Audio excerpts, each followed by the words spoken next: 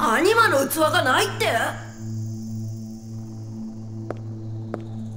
どうかしたの？いやそれがちょっと問題が。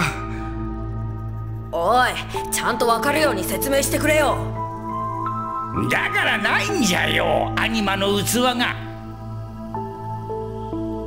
機体自体には何ら異常が見当たらんのじゃが動力炉の部分だけが忽然と姿を消しおった。そんなバカなことが。原因は何です？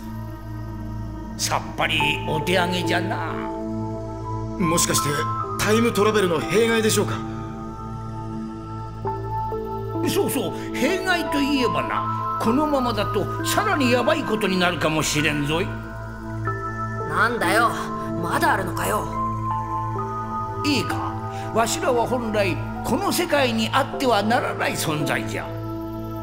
そのしわ寄せが少しずつではあるが鮮熱エネルギーとして蓄積されておる。このまま放っておけば確実に崩壊するじゃろうな。崩壊するって何が？はこの宇宙がじ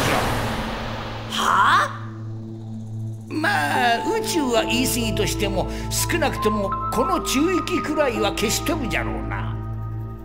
まあそのぐらいこの鮮熱エネルギーというのは凄まじいものなんじゃよ。どうすんだよ。結構やばいじゃんそれ。どうにかできないのか？うーんまあできないこともないがのうまくこの鮮熱エネルギーをフィールド内に固定し時空連続体に干渉することができれば元の時代に戻れるかもしれんが。なら問題ないじゃん。さっさと始めようぜ。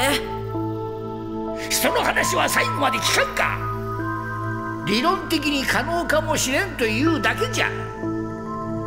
何よりこれだけのエネルギーを固定するための強固なフィールドを張るほどの出力を出す方法が今のところ全くないんじゃからな。どうすることもできんの。う